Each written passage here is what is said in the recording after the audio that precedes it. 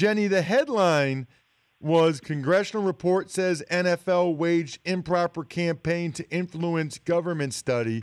What would be your headline for what went on between the NFL and the NIH?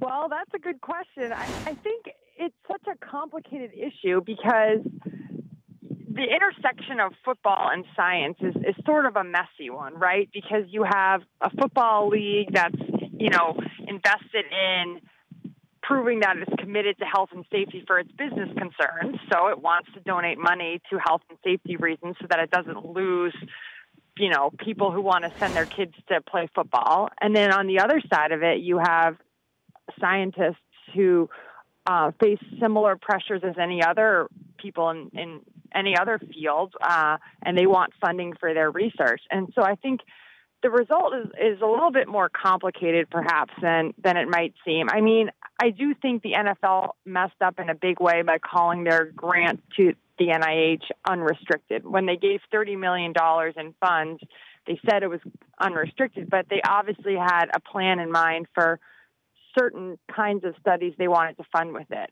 I think they would have been better served not calling it unrestricted, not sort of boxing themselves into that. And if, you know, whatever their motivations were for spreading the money around or doing certain kinds of studies, if they had not labeled it unrestricted, I don't think they would have been attacked so harshly in the congressional report.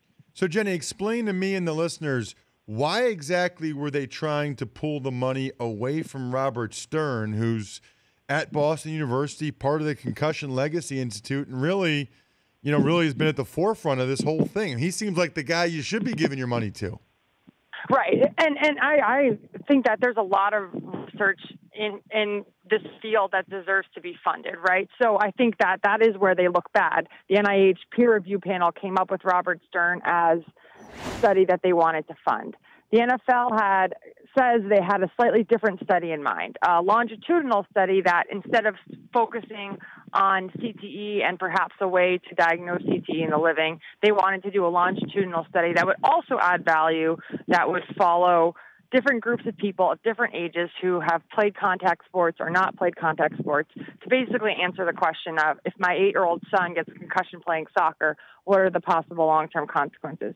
I think both research studies are valid, and this is where we get back to the debate of where the money goes. I think the back and forth we've been hearing the past few days is a couple different research groups who want to use the money to, to advance their studies and there isn't enough money going around. Um, and I think that that's sort of the root of the controversy here.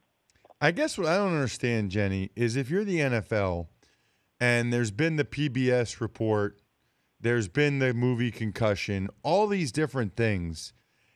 I don't you don't you think before you actually make any moves in this regard? You know what I mean? Like, don't you think, wait a minute, maybe that's what we want, but if this gets misconstrued the wrong way, we're going to take another massive PR hit here. Absolutely, because you know public trust is in the NFL is so thin right now when it comes to health and safety, and more importantly, player trust. I mean, I think you saw a lot of players yesterday reacting to the report on Twitter, and it just sort of underscores the feelings that the NFL has been trying to outrun. I mean, their past of you know inaction and you know kind of ignoring the head trauma issue they've been trying to outrun that for so long which is why this report was damning because it was saying the problems are not just in the past they're also in the present. So i think the the lack of uh, awareness there of how whatever their motivations were i mean I, I do think there are legitimate reasons why you wouldn't want one group to get 80% of their $30 million grant not specifically because of that group itself, just in science, it's good to spread around money to different research groups. However, since that group is led by someone who has been critical of the league in the past, it's sort of, um, you know, uh, uh, they're, they're sort of blind. The NFL is being blind in this case, I think, and, and didn't show a lot of foresight in understanding, you know, if, if we push back against this, how it would look, especially when they had agreed on on a similar study to the one that the BU group has proposed.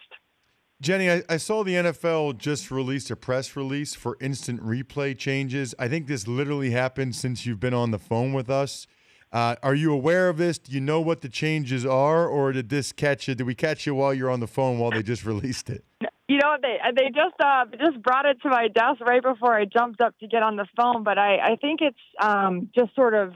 I don't think there's any huge changes. I think that it's just um, clarifying the process of, of what is reviewable and what is not. I think it's more specifically outlining it if, if I understand it. Yeah, it looks to me like instead of telling you what will or won't be reviewable anymore, now they're just going to say, here's the only things that aren't reviewable.